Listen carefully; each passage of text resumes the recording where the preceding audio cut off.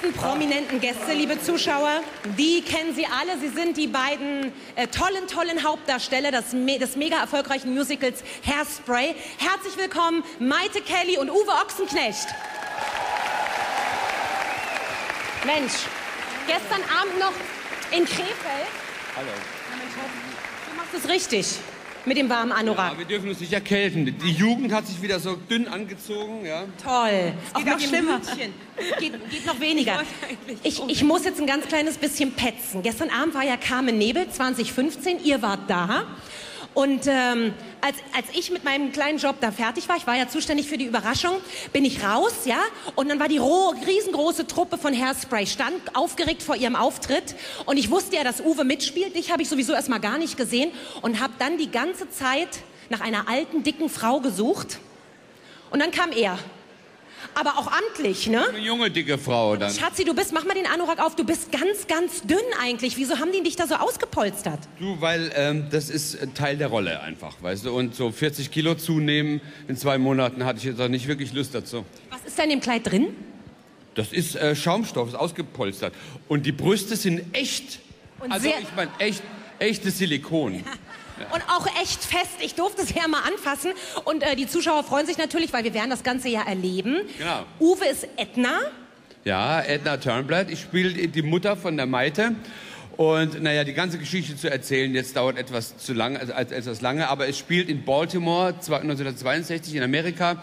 Und da geht es auch noch um Rassismus und Dis- Diskriminierung. Und das wird in diesem Stück eigentlich behandelt, aber auf einigermaßen unterhaltsame Art und Es Weise. geht auch darum, dass ich, ähm, ich bin halt 15 Jahre alt, ich, bin, ich spiele Tracy und ich hole meine Mutter eigentlich so ein bisschen aus ihrem Haus raus, weil sie tut alles für uns, also für den Papa und für mich, aber sie vernachlässigt sich selber.